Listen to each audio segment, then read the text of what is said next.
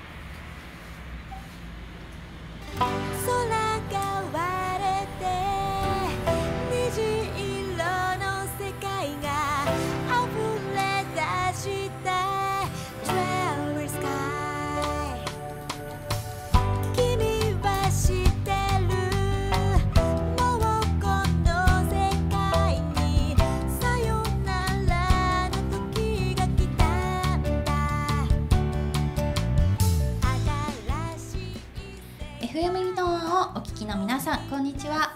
時刻は午後4時を回りました。この時間は健康情報番組「生き生きライフ」をお届けします。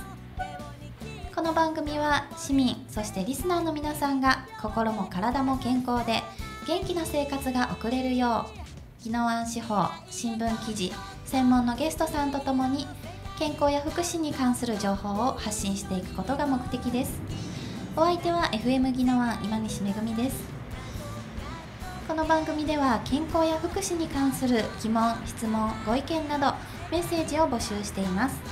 メールアドレスは 797-fm ギノワン .com です。また FM ギノワンではユーストリームやツイキャスサイマルラジオでネット配信も行っています。ツイッターも連動していますのでたくさんツイートしてください。サイマルラジオは全国どこでも音楽とともにラジオを聴くことができます。FM ギノワンのホームページや無料アプリリスンラジオでお聞きください。それではまずはじめにギノワン市からの情報をお届けします。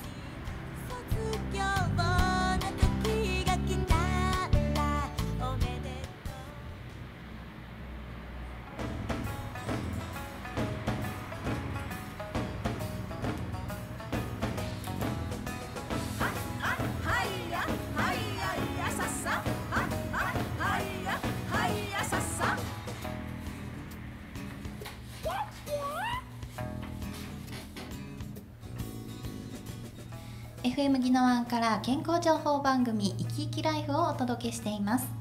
まずはじめに司法ギノワン健康福祉だよりからお知らせをお伝えします。まずはじめに人間ドックがん検診乳がん検診子宮頸がん検診のお知らせです。人間ドックがん検診乳がん検診子宮がん検診の検診期間は1月末までです。がん検診は早期発見早期治療が大変重要です。仕事や家事育児で忙しいあなた今一度自分の体に目を向けてみましょう。次の、えー集団検診は今年度最後となります。日時は1月28日日曜日宜野湾市役所にて行われます。定員は210名となっています。事前に保健相談センターまでお申し込みください。お問い合わせは保健相談センター898-5583までお問い合わせください。続いて栄養お口の健康教室のお知らせです。見落としがちな口腔の健康ケアと簡単な栄養講話調理実習を交えた3回のシリーズ教室です。日頃の食生活について見直してみませんか？日程は全3回です。口腔について2月9日金曜日。栄養について2月16日金曜日。栄養について2月23日金曜日。いずれも10時から13時となっています。場所は中央公民館。対象は宜野湾市内在住の65歳以上の方介護認定を受けていない方定員は16名なお申し込み多数の場合は抽選となります。参加費は無料。申し込み期間は1月15日から2月2日金曜日までです。お申し込み方法は電話または窓口にてお申し込みください。お問い合わせは介護長寿課内線207番までお問い合わせください。続いて母子保健推進員募集のお知らせです。対象は宜野湾市内在住で子育て経験のある方。募集人数は大山地区上大蛇名地区前原地区宜野湾地区の各地名です。任期は就任から平成30年3月末日まで。ただし引き続き平成30年4月から32年3月までの任期更新ができる方。活動内容は1市の母子保健事業でのお手伝い。2毎月の定例会出席。3検診未受診者へのお宅訪問による受診鑑賞4こんにちは。赤ちゃん事業の訪問活動。活動日は12合わせて月1回から3回程度。34はご自身の時間内で調整。詳しくはお問い合わせください。お問い合わせは保健相談センター898-5583までお問い合わせください。続いてインフルエンザ予防接種のお知らせです。インフルエンザ予防接種は2月末までです。65歳以上の方には接種費用を一部助成しています。女性対象者の方へは通知書を送付しています。女性対象は満65歳以上の方。期間は2月28日水曜日までです。接種場所は指定医療機関。費用は1000円。生活保護生活保護を受給されている方は無料です。60歳以上65歳未満の方であって心臓などに重い障害がある方も女性対象となる場合があります。かかりつけ医へご相談ください。お問い合わせは保健相談センター898-5583までお問い合わせください。以上宜野湾市からの情報をお届けしました。CM の後はゲストさんをお招きします。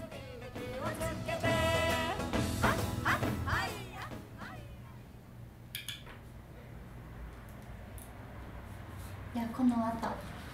この後ご紹介します。はいわかりました。はいお願いします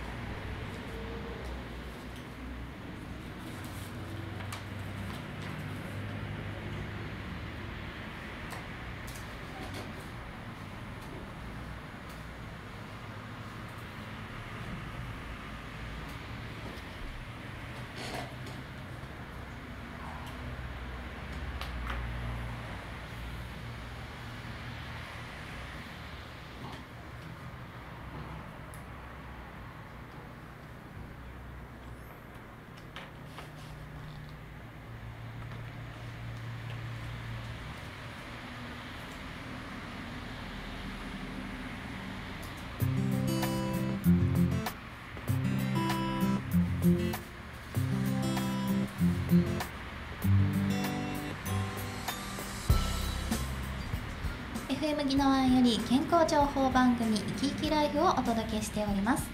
さて続いてはゲストのコーナーです。毎週健康に関わる素敵なゲストさんをお招きしております。本日のゲストはこの方です。ではマイクに向かって自己紹介でお願いします。はい、皆さんこんにちは。沖縄県赤十字血液センターの野原と申します。はい野原さんよろしくお願いしはい、おます,、願いします。先ほどのですね CM でも流れておりましたがえー二十、歳の献血キャンペーン今行っていらっしゃいますねあはい、はい、FM ギノアの方でも CM 流させていただいております。ありがとうございます。はい、今日はですね、えー献血についてというテーマで、えー献血センターから野原さんにお越しいただきました。よろしくお願いいたしよろしくおます。願いします。えっ、と今日はですね、えーその二十歳の献血キャンペーンとそして献血の基本的なところを伺いたいんですけれども、はいはい、えー二十歳の献血なんですが、はいこちらのキャンペーンはいつからいつまで行っていらっしゃるんですか？はい、えー毎年ですね、1月1日から2月末日までの2ヶ月間、えー実施しております。はい、この献血なんですが、なぜ二十歳のということで？ここに目的があるんでしょうか？えっとですね、はい。あのまああの新成人を迎えた若い方々にですね、はい。献血ご協力いただきたいというところと、はい、あとですね冬場、えー風邪やインフルエンザなどで、えーはい。献血される方が少なくなるというこの時期に合わせてですねえー二十、歳の方々を中心に、えーはい。まあ、あの10代から30代がえーまでのあの若年層と呼ばれるうん若い世代の方々に、はい。えー献血ご協力いただきたいという趣旨で行っているキャンペーンになります。なるほど。えっ、とこのつい先週ですかね。えっ、と成人式がありまして、はで成人になったということをきっかけに、はい。何か献血に向かうっていう何かきっかけになるかもしれませんね。そうですね、はい。あの大人への第一歩っていうところで身近にできるボランティアっていうところで献血へのはいご協力をいただけると幸いです。そうですね、はい。なるほど。先ほどあのちらっとお伺いしました。この冬場っていうのは、はい。えー、と献血足りなくなる時期なんですか？はい、あの夏場よりもどうしてもですね先ほども申し上げましたがあの風邪やインフルエンザなどで体調を崩される方が、はい。あのどうしても多くなります。でまたあのそれによって体調を崩されることによって、えー病院などでえー輸血を受けられる方っていうか、えー数も、うんあの夏やば夏場よりは増えるうん。傾向にございますので、はい。そういったところで、えー夏場よりも冬場がちょっとどうしても確保が厳しい状況に、うん。えー毎年なっております。なるほど、はい。えっ、とあの若年層の皆さんにもですね、えーぜひあの協力をしていただきたいんですがまず献血の基本的なところを伺えたらと思います。あの献血のはい種類っていうのはどういった種類がありますか、はい、えー、と大きく分けてですね、はい。えー血液をお全部、まあ、成分すべて採血する全血献血というものがございましてはい。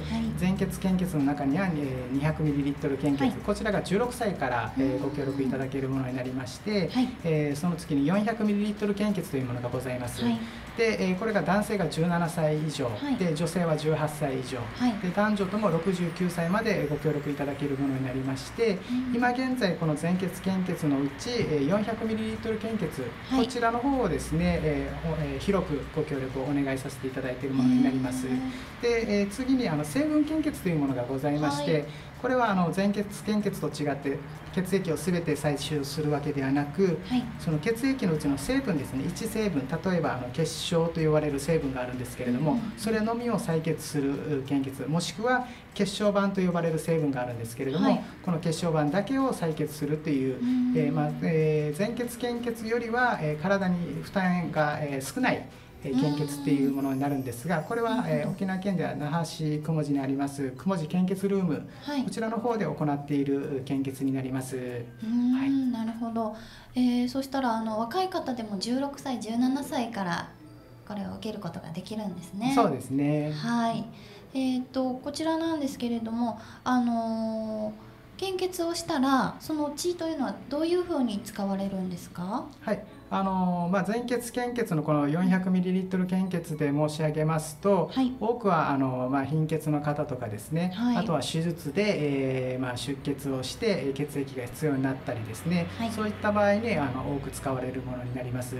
あとえー成分献血のあの血小板献血から、えー作られる血小板製剤というものがございますけれども、はい。こちらについてはあの白血病とかのがん患者さんですね、にあの多く使われる血液製剤になります。ううんなるほど。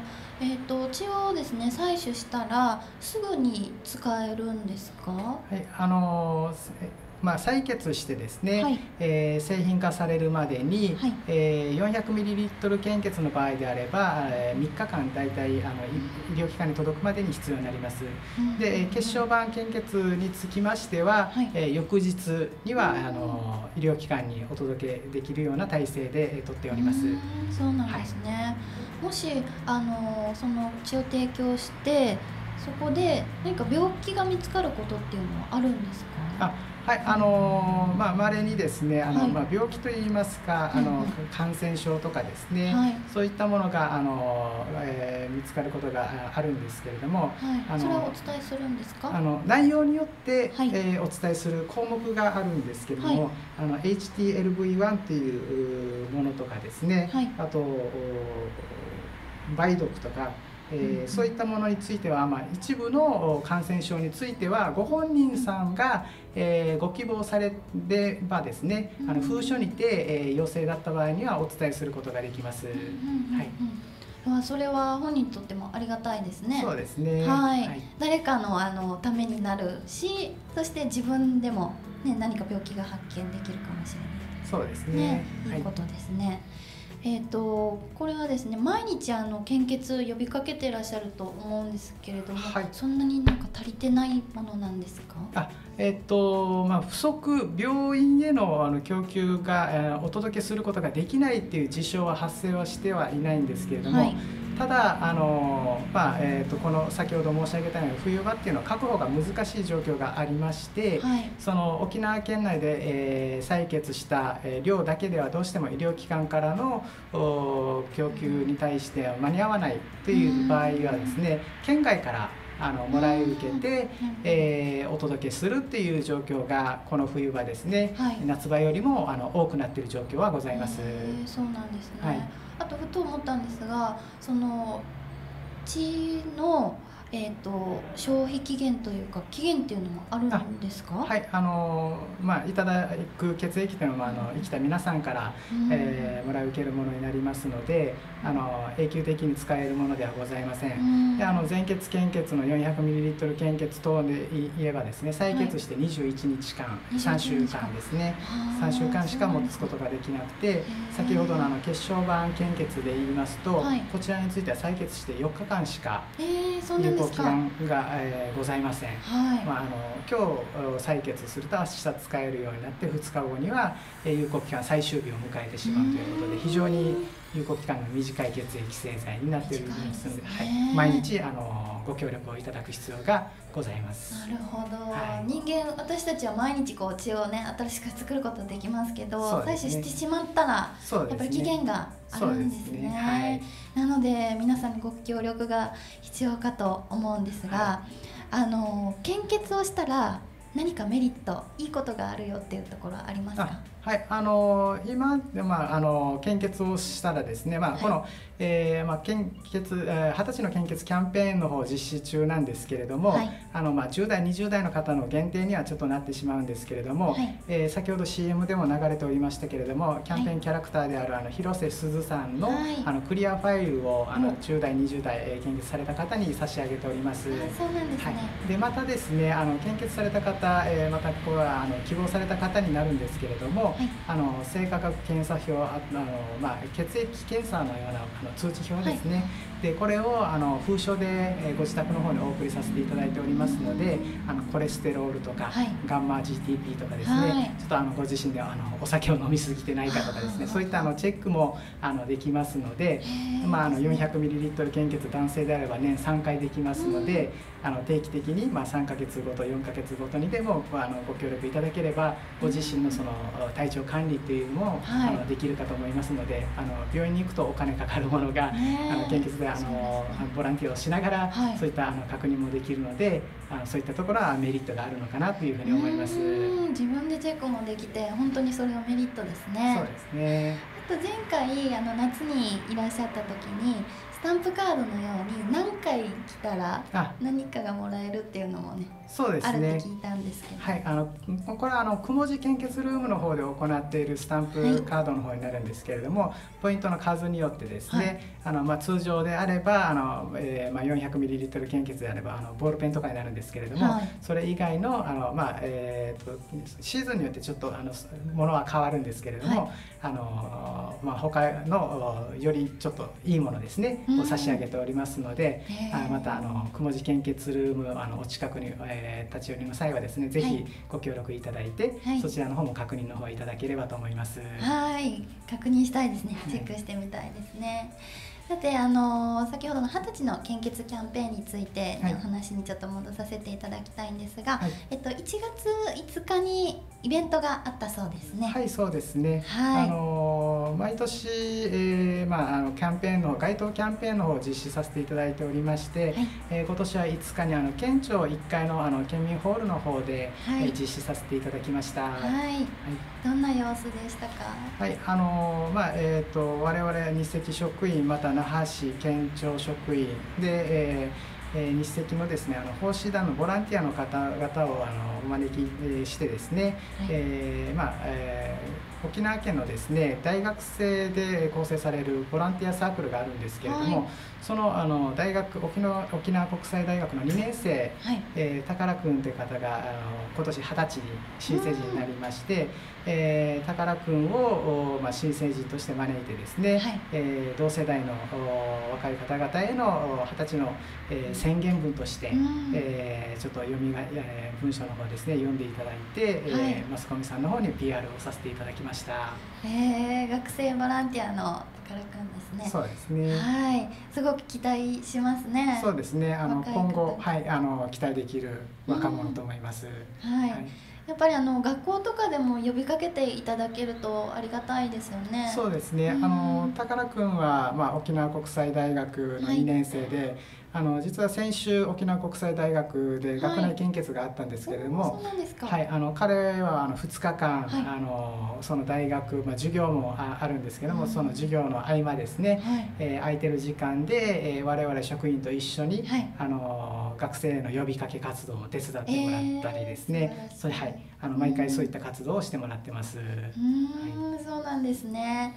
えっ、とこのキャンペーンなんですけれども、2月末まで行われているということなので、ぜひリスナーの皆さん。えー二十歳の献血キャンペーン若年層の皆さんだけではございません。大人の皆さんもぜひご参加いただければと思います、えー献血なんですが、えー固定でやっている場所というのはまずどこになりますか？はい、あの沖縄県ではですね、はい。えー、雲寺献血ルームというところが固定施設の方になりまして、まあ、はい。1箇所だけになるんですけれども、はいえー那覇市雲寺ですね。パレット雲寺隣にあります、えーセントラルビルっていうビルの3階にございます、はい。でこちらの方で、えーまあ、固定施設の方ですねございましてはい。はい、あの受付時間の方ですね、はい。えー平日は9時半から午前中が13時まで、えー午後が14時から17時半まで、はい。はいえー土日祝祭日につきましては、えー午前中が9時からはいで、えークローズがえー17時までとなっております。はいはい、じゃあ、小持の方で、えー、固定であるということなので、お時間がある方はぜひ行かれてください。あとは献血のバスの方も出ているんですよね。そうですね、はいあのバスの方につきましてはですね毎日あの沖縄タイムズさん琉球新報さんのですねあの新聞のあの献血という欄があるんですけれども、はいそこにあの当日の、えーバスの行き先の方をお掲載させていただいておりますはい。また、えーえーインターネットでですねアルファベットの B と C と、はい。えー数字の 9BCQ と入れていただきますと、はい。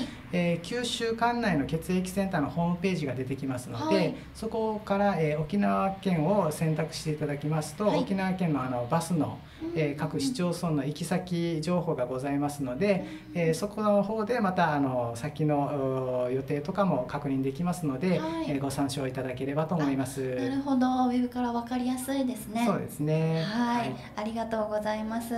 それではですね、最後に、えっ、と、リスナーの皆さんにぜひメッセージをお願いしたいと思います。はいえーまあ、1月1日から2月末日までですね二十歳の献血キャンペーン実施中です、えーまあ、二十歳というフレーズでは歌ってはおりますけれども今現在10代から30代のお若い世代の献血者の減少が著しい状況になっておりますぜひ、えーこの機会にですね、えー新成人になられた方も含めまして、えーまだ献血されてない方、えーまた久しく献血をえーされてない方た,、えーたちですね、えー献血へのご協力をお,、ね、お願いできればと思います。はいありがとうございますありがとうございます。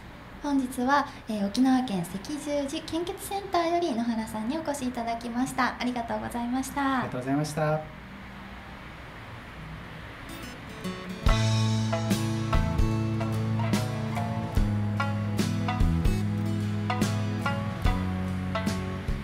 い、あっという間にエンディングの時間です。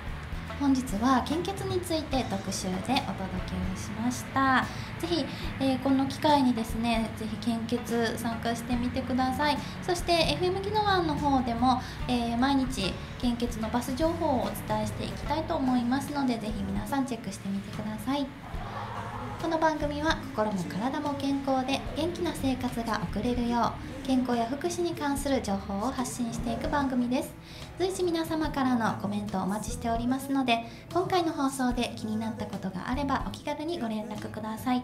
メールアドレスは 797-fm ギノワン .com です。それでは来週水曜日午後4時にお耳にかかりましょう。